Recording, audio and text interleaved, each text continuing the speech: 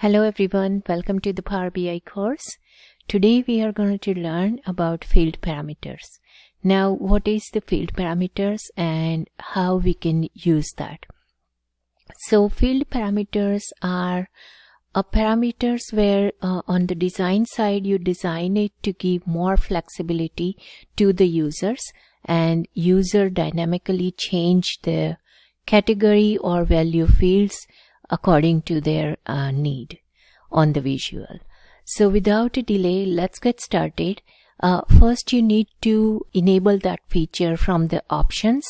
Uh, so let me show you that. I'm going to open up Power BI and the field parameters is located on modeling uh, from the ribbon and there is a parameter section. If you click on that down arrow and you can see the fields here that is the field parameter. In case if you do not see it then you need to go to uh, the file um, from the menu and just click on this options and settings. And from the options from the preview feature you just need to enable it.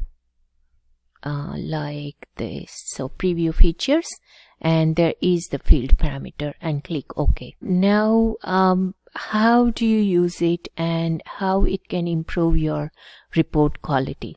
So let's get started. I have couple of uh, tables in my data model and let's get first data. I'm going to click on this uh, clustered column chart and may resize it and let's get some data. So on the x-axis, I'm going to use my channel name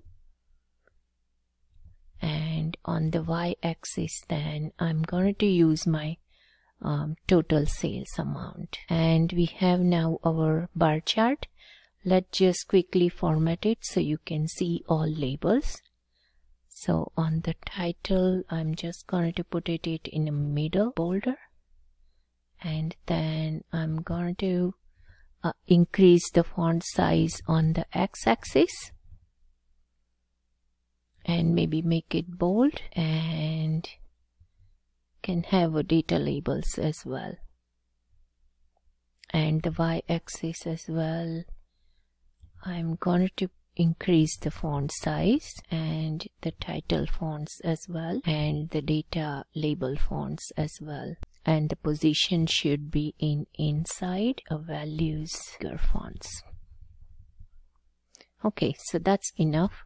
Now let's create some parameters. So I'm going to click on the modeling tab and from the new parameter, I'm going to select these fields. And in the first uh, option here, what will your variable adjust? So I'm going to leave as it is on the fields. Uh, you can have the numeric range parameter as well.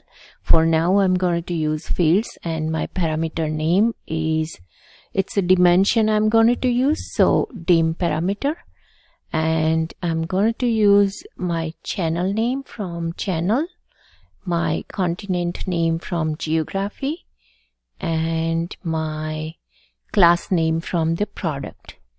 And I'm going to click create. And now I have my para parameter created and it looks like similar to the slicer so I'm just going to reposition it on the top uh, and we will see it in a form of buttons. So I'm going to format it uh, from the format pane. Then um, I'm going to use the slicer settings and my style should be the tile. So we can see as buttons.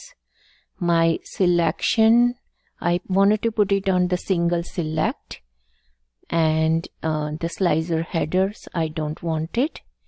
And the values I'm going to just going to increase a font size and bold. And we can change the color as well so black. The font color. Okay so that should be enough. Now we need to sync the parameter with this visual so currently our visual on the x-axis has a channel name. So I wanted to put it my uh, field parameter which we created. So I'm just going to or click on this arrow and when I expand it, I can see my parameter uh, uh, with other tables in my data model. so I'm just going to expand that dim parameter and select that parameter so now the these both are synced and if I change my class name here then I can see the class name change here as well on the visual. So now it's showing me what I want channel name or continent name or my class name on my x-axis. Okay? Now let's change this um, value uh, as well um, according to our preference. So I'm going to create another um, parameter here. So click on modeling again and select the field parameter. And this time my parameter name is value parameter. Value parameter like that. And I'm going to select uh, profit and sales both. So a user can toggle between uh, profit and sales and create and again we have this parameter uh, looks like a slicer so I'm going to reposition it at the top. And let's format it. So my format pane and sorry my format pane and I'm going to select this slicer setting and I want it in tile form. My selection sh should be single select and I do not want header and let me increase the font size.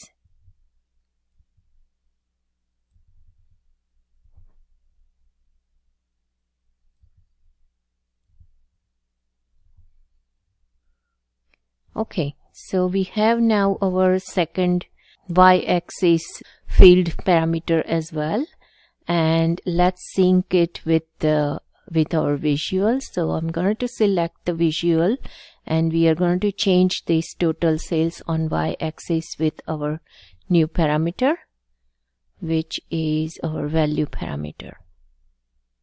And now they both are synced. So you can see that now it shows profit as profit is selected. If I select my total sales then you, it, it change uh, accordingly. So that is about the field parameter, how you can create it and how you can give a flexibility to your user that they can change the visual uh, as they need. Now, if you, if you wanted to add something or remove something on the field parameter, then you need to go to the this data pane here and select your parameter so when you select the parameter, it shows the DAX code in this formula bar. And let's say if I wanted to add my total cost here. In that case, then if I select, if I see my uh, sales table, then I have my total cost field here as well with the total sales.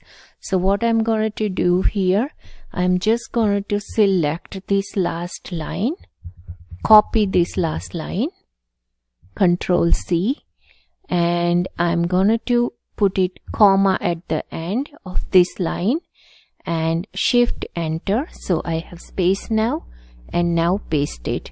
So uh, I copied the same line here. Now I'm going to change the name which is my cost. So I'm going to change it with cost. So total cost is my name which will show on the button and then uh, the sales table we have a total cost as well. So just I'm going to remove this total sales and going to select total cost here which is this. And just enter it. So now we should have our um, cost as well. So you can see we have our cost as well. So the user can toggle between profit cost so cost and the total sales. If you wanted to remove then again uh, similarly you can select the parameter go to the uh, DAX formula bar here and you can just remove that so uh, that is all about field parameters and how you can use it and how you can uh, enhance your report quality. Guys if you like the content of the video then please comment like share and subscribe. If you already use this feature then please share your experience. And thanks for watching. Thank you